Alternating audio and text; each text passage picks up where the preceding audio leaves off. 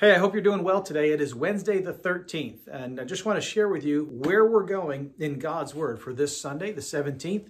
As we get into God's Word, our message is titled Following the Spirit is Following the Science. I mean, it's pretty self explanatory. If God is the creator, and as creator, if He's ingrained certain truths into the fabric of this world, both uh, from a physical sense, you know, the laws of gravity, etc., but also moral truths that are a part of, of human life uh, both individually and communally, if God's the designer of all of these truths, and if science is about identifying truth, then following God's Spirit is going to be all about following the science because they're both supposed to lead you to truth.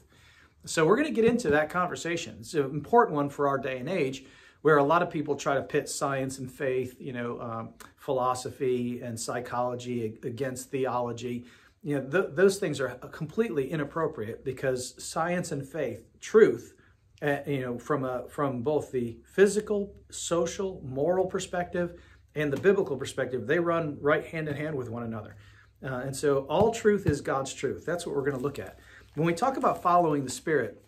Our key passage is Second Corinthians chapter three and verses two through six. So let me read that to you. And, and this is about the mission that God has for you and for me, especially during this time of COVID. Yes, our churches, things have been awkward for us for the last year. Um, but that doesn't mean the mission and the ministry of the church stops. As a matter of fact, during COVID, the mission and the ministry of the church are almost intensified. People are more open now to talking about God's truth, the end times, what's going on around us. They're more open to talking about that now almost than ever before uh, in recent history.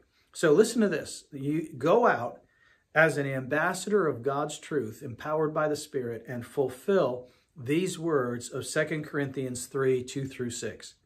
You are our epistle, written on our hearts, known and read by all men.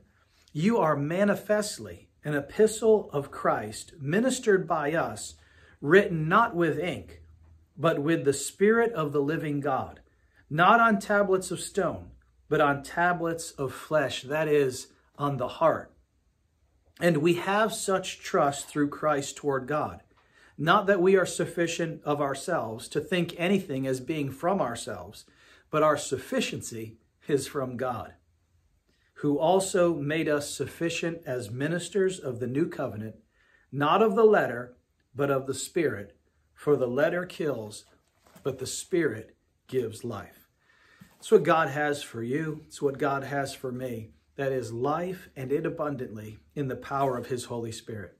So join us this week as we continue our series and our conversation about what's going on in our larger culture. And as we talk about how following the Spirit of God is following the science. God bless you. We love you in the Lord.